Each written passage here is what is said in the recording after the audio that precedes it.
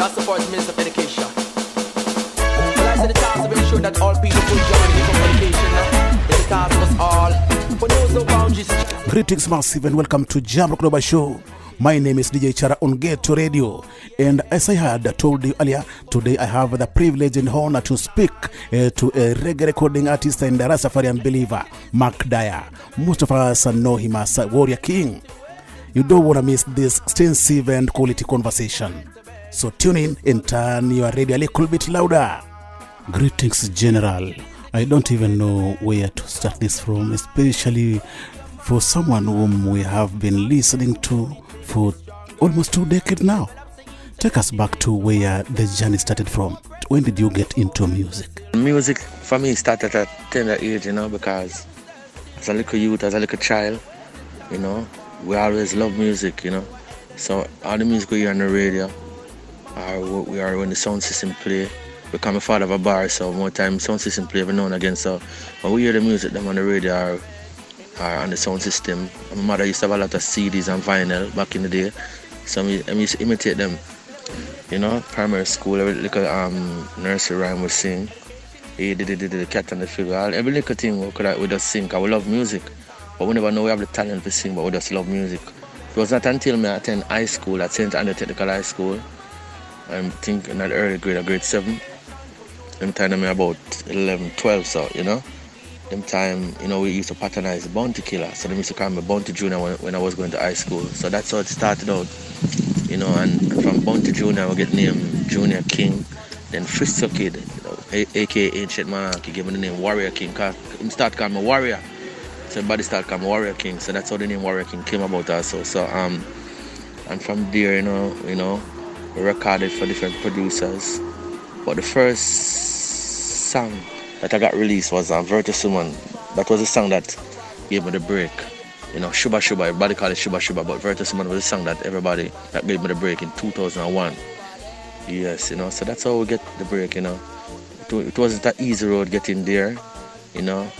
We have a lot of um, obstacles and a lot of stories along the journey, you know, but it made me strong. It empowered me. I must say, you know, we started out as a DJ. So really, I want to go um, watch it. Bobby Digital at a Calibud. He produced a song, Never Go, The Pagans Go. When I went to him to DJ and a dancehall rhythm, and them hear my sound, I think they, they, they put on a one drop rhythm, which is song I sing, or Empress So Divine. You know, that's when we start realize I sing J like, like it's we are sing now. That's how we start singing from the one drop roots reggae rhythm. And from there, the rest of history, you know. So that's how we started out in the music thing. Yeah, man. I never regret one day. I really, really, really like your writing skills, sir. In your songs, you always balance both rootsy and soulful melodies, social and romantic lyrics.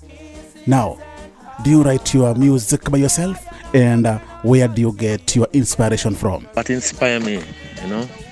What inspires me, you know, as a Rastaman, you know, is Imperial Majesty, teachings of Haile Selassie inspires me, you know, my God and King. Teachings of Marcus Mosiah Garvey, you know, teachings of the Holy Scriptures inspire me. Well, you know, um, a lot of books inspire me too, you know, I read, you know, like the Quran, you read the books like, you know, about Africa, various books that I read because I like reading, you know. But you know, but the fundamental fire behind my thing, I, I listen to the first, you know. He's my guidance. As I sing the song, never go, the pagans go, you know. Teach of His Majesty, you know. And from my youth, from my know music and I watch greats and who set the foundation like the Bob Marley, Dennis Brown, Burning Spear, Garnett Silk, you know, um, Black Uhuru, you know, Alton Ellis. The list goes on and on, you know, some of the greats, man. We see how the songs that they sang impacted people all over the world, especially in Africa and African people in the diaspora. So me said to myself, so you're going, you see my talent and my gift. But most can change the world with it as a little you. That was always my vision and my goal. So now change the world, make it a better place. You know, make people, African people know them culture, them history. You know, make um, people of all nations know so everyone is equal in the sight of the Most High. So that's why I sing the type of songs I sing today. So that's a that's a fire behind my craft. You know, wanting for betterment for humanity and a whole, but especially the African people because what we went through, slavery, the advent of slavery and everything that affected us, in every way because even us in the diaspora, you know, they took away our culture, they took away our roots, our, our language, our religion, our God, everything that belonged to us, they took away. So it's like we are restore all of that. So we use the music now and try and make people know so they can go dig deep and research. So you know, them things that the fire behind my craft and, and passion. Love for people, love for life, you know. Yeah man, those things inspire me. That's that's one perfect love. What do you think is the difference between now and the days you release songs like Virtuous Woman, Never Go Where the Pagans Go, Education is the Key, and those songs that you did uh, back in the days, back in the 2000s? What do you feel is the difference from that time then and now? I think the difference is like, you know, we have more live music back then. Now I'm going to computer thing and everything, which me not no problem with it still, you know, but I prefer the live music. I have a preference for live music. Whether the dance music or reggae music, I prefer prefer when the, the, the musicians them I do them thing, you know, the guitarist and the bass and the drummer and the keyboard player and the saxophone, or whoever, you know. Musician them I do them thing. Whether them play a dance beat or reggae beat, you know, but you know, that's the difference too, you know. Yeah. I believe a song like Virtuous Suman gave you the recognition in music scene and it even spent nine weeks on Billboard charts. What inspired you to do this song? And if you couldn't have done it uh, that time and maybe did it today, do you feel it could uh, create the same impact? Yeah, man, give thanks to the Most High, you know, just inspiration from the Most High. Um, that song Virtuous Woman came about because at the time I was reading the philosophy and opinion of Marcus Garvey because I know Marcus Garvey was the one who said, Light night today says a woman to a man, so that's where I got the idea of the song. So when I got the rhythm from Michael Johnson, who's the producer of the song on the Lion Paw label, that, that, that, that melody, that thought came to me, you know. And you know, at the same time, you know, he's a Bible scholar. We study the Bible because you know the faith we defend, defend His Majesty. So if we read the Bible and find truth for yourself and accept it with a clear conscience, so we can hope for salvation. So I'm always studying the Bible. So the Bible talk about virtuous woman. If you're reading the Proverbs, with all the, wise words when you're reading the Proverbs, so we can find a virtuous woman because our price is far above rubies you know. And at the same time, I don't know if you know Mutabaruka and you have an expression called Yasus Afari. Both of them are dub poets from Jamaica. They're popular dub poets from Jamaica. They had a discussion in the, the there was a there's a but they have an article where where Mutabaruka and Yasus Afari are debate on the topic. Um, who is a virtuous woman and, and, and, and the Rastaman must say um, a virtuous woman. Some people think like a virtuous woman is a woman who never have sex before and them things. So the rest of them I clear up the point and make them know say a virtuous woman is a woman who have certain qualities. It's not just a woman who never have sex. Because a woman who never have sex before, she can have bad ways. You understand? So that don't really make you virtuous. So at the quality she can maybe have five youths before you meet her and she still virtuous because it wasn't her fault when she had the five youths and the man not there. You know, people take advantage of people. So so oh, the whole concept there. And the Bible story that we got with, with you know, even with Adam and the Eve story, I say woman caused sin, which me not really see that because me interpret it a different way. You know, so all of them things you know led to the inspiration of this song Virtuous Woman, you know, and my love for woman. And then me feel like with this song now, may I put you know, cause God is about male and female energy, you know. Cause God, you know, if you read the Bible, let us make man, let us make man in our own image and likeness. So us are more than one. So God is both male and female. So that's how the inspiration came about. And when in the 1930, in the 2nd of November, when Haile Selassie I was crowned King of Kings and Lord of Lords and all the titles which we read about in the Bible, he wasn't crowned alone, he was also crowned with his wife. And he was the first Ethiopian emperor to to have crowned with his wife, you know. Normally, a Ethiopian emperor will crown today, maybe three days after them crown the queen, or a week after, but His Majesty insisted that his wife and himself were crowned the same day, which was very significant, you know, and very historical. So, them things that inspire me to write the song, No Real Man Can Live Without a Woman, and some things where the system are push on the youths, them, you know, dig it, you know, because I come see my mother and my father while I'm here, so we have to keep that tradition alive. So that's what inspired the song. Yeah, man, it's a beautiful song. And I think um, if it did come out today, I don't know the impact it would have. But at the same time, Jab put it out the time where it was supposed to come out. But you see, with a song like this and the type of topic, you know, with all over the world around, with all them crazy people, with them crazy thing and lifestyle. I don't know, but you know, the truth is an offense, but not a sin. So it come out the right time. So I don't know what kind of impact I have today, I they could I get that big push because you know the, you know the system set already. You know, I mean, I have to elaborate on it because you know what's going on in the world and the type of thing when they push on the youth them in the schools, in the media and all them things, which is not right in the creator side. So we have to stand up on the righteous thing. Yeah, man and woman, parents, you know, mother, father, children, you know, you know, yeah, that's the way we know. So that's the way we are. We are, we are, we are, we are teaching youth them. My children and other people listen to music or we sing. That's the tradition with the Rastaman set. Yes. From my little understanding, I always feel music is like a Bible or even a Quran, which carries good messages from generation to generation. Now, from your extensive catalog, is there any song that when you listen to it today, you feel like if you could change a line or the production, the melody, or anything, it could sound more better or impact more people? Good all my songs, all my children, good all of them. Like a song called Holy Faith. If maybe if back, only thing me that change with that song today, all the productions them sweet and good, you know. You know, the only thing me that change with that like Holy Faith. Instead of me saying, poor people in Jamaica suffering day by day, but that's the poor people in the world make it more global. You know, but at the time I was really going to Jamaica when they write the song still, but that time maybe one thing when me think that change the, the word in the song. Instead I say Jamaica, that say the word, so it more relatable to people everywhere, you know? So that's the only song we can come to mind right now at the moment. You know, definitely. Okay. Um, hmm. What would be your message to the young artists who aspire to be great and established artists like you?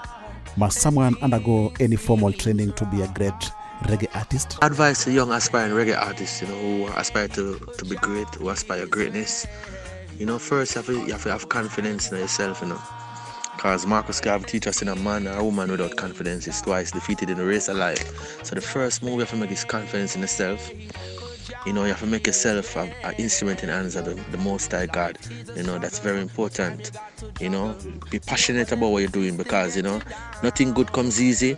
And I'm ever saying that eyes of great men or women reach and keep were not attained by sudden flight. But while their companions were sleeping, they were up while t- toiling through the night. So you have to be resolute in the work. Just work hard and believe in yourself and make the message positive you know and at the same time me I love to advise all of the young aspiring artists them to learn the business of music you know because music is music and you try to be you try to be better at what you do. You try to perfect your craft each and every day every, every time you get a chance you practice you practice always practicing you know so you get better and better. You read a lot of books so it, it widens your vocabulary so you can so you can you know you know you, you sing a song you, you know repeat repeat the same lyrics all the time. So you have a broad vocabulary scope so you can choose different words you know 'cause you can say the same thing seven different ways because you have a wide vocabulary. So youth have to read I must learn the business of music because that's very important.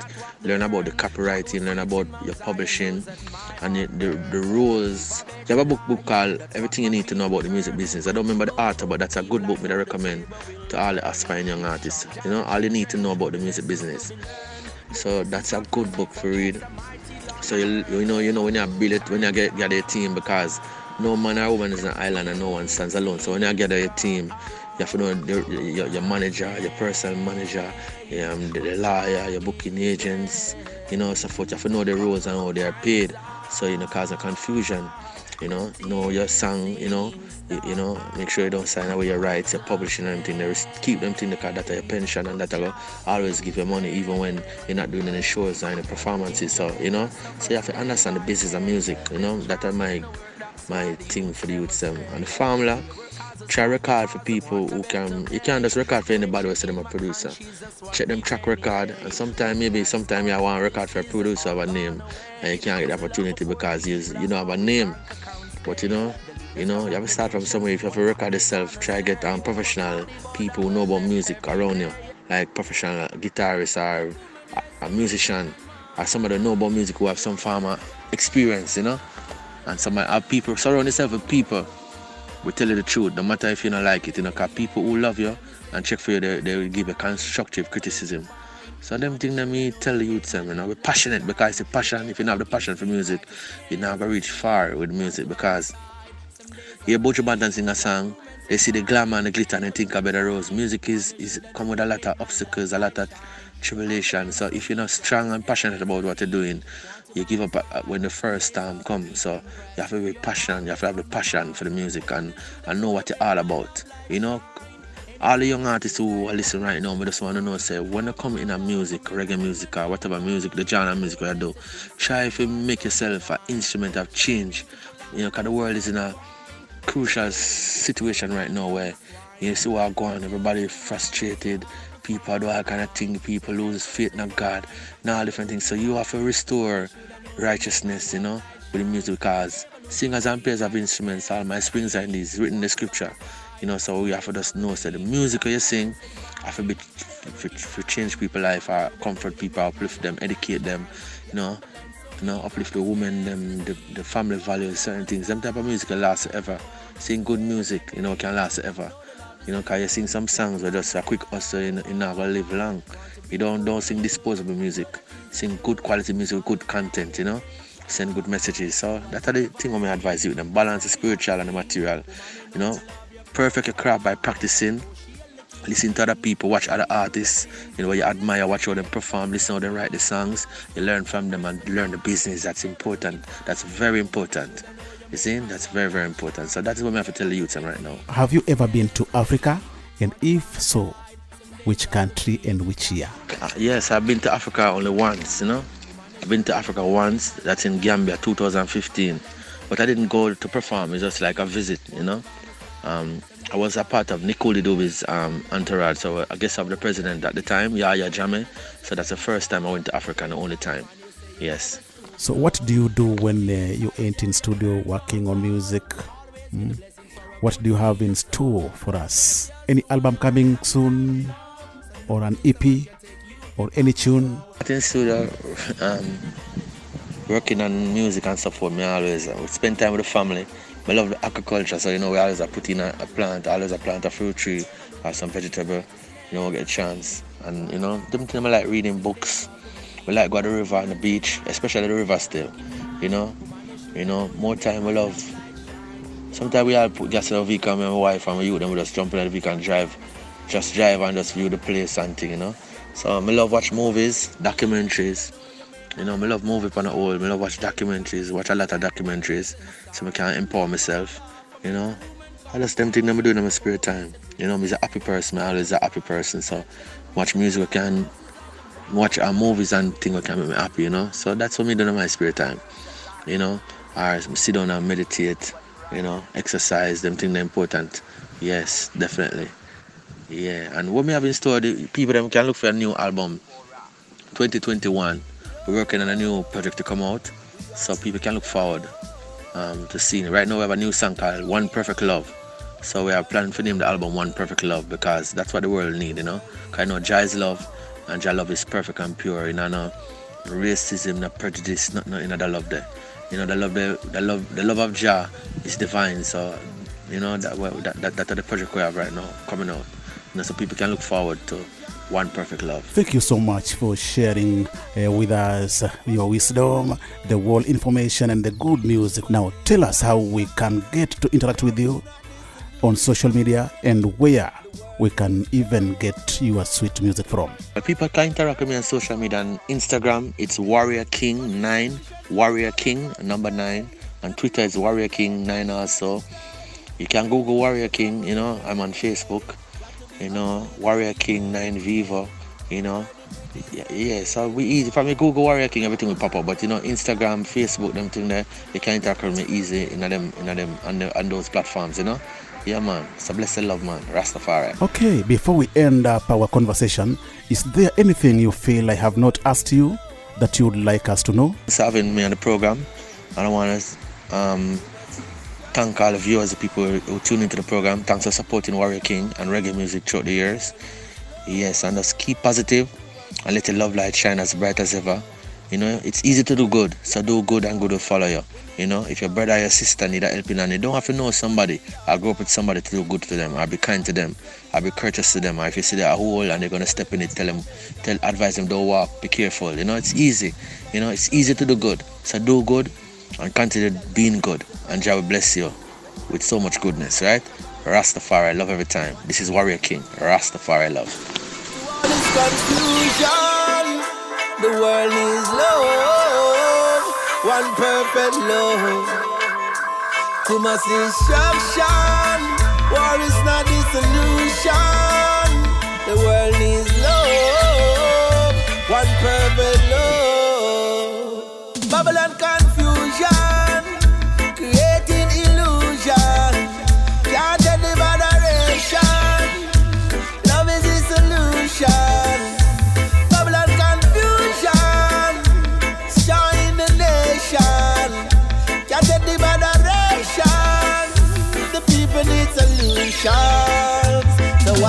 salute.